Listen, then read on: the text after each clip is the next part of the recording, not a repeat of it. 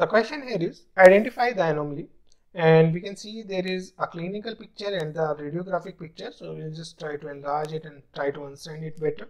So if you see here we'll be able to identify that this seems to be a deciduous canine. This also seems to be a deciduous canine. And between these there have to be four teeth. Okay one had to be lateral incisor then central incisor. Again the left central incisor and lateral incisors. So we can presume from the clinical uh, picture very well that there is a fusion of the central incisor and the lateral incisor. That is one thing.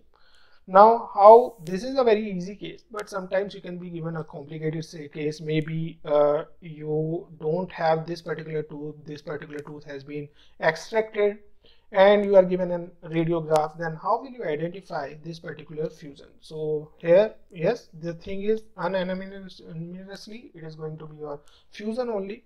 Now if you uh, see through the radiograph let's try to understand the radiographic features here. So yes this is the crown here. This is another crown here. And you'll be able to appreciate the radio lucency here there are two root canals right?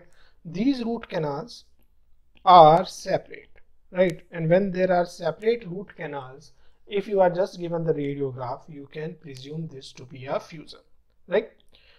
Another way is that you have to count all the number in the mouth of the patient and if uh, there is a lesser number then you can consider it to be the fusion and if it is a more one more number than the total number of crown then you can call it as gemination so yeah we'll just try to understand this further. So let's see what are the options here. Fusion gemination concrescence and dilaceration so fusion is nothing but the two teeth which are completed generally fuse with each other through dentin generally. Most of the time they are uh, fused with each other with dentin and uh, they have two separate root canals. Two separate root canals and that can help you identify this particular anomaly then yes gemination gemination is generally single tooth bud when single tooth bud splits into two it splits into two okay and here you'll be seeing that these two crowns will be there but only one root canal will be there. Root canal is generally one in this case and that will help you identify the gemination. Then we have concrescence. Now concrescence also has two separate teeth but the catch here is that the teeth are joined with each other with cementum only. Only cementum is fusing in these two teeth and yes the tooth uh, two will be there right. Then what is dilaceration? So dilaceration is an anomaly where the apical portion, sometimes apical portion, but a portion of the crown generally bends out. Okay, remember first whenever uh, your crown is there, right? So you can be given as the crown is bent, that is also fine, or the portion of the root is bent, that is also fine. So do not get confused in these terminology. Actually, there has to be a active bending also.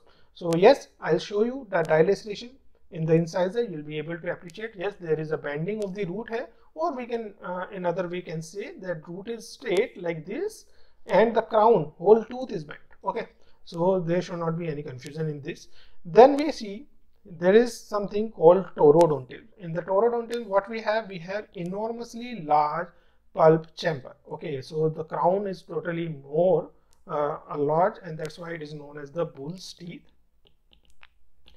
then if you see the gemination, now you see that only one root canal is there. But in the mouth you can see two teeth can be there. In the mouth there can be two teeth, right? And that can help you to identify about the gemination and that can help you to differentiate between the gemination and fusion.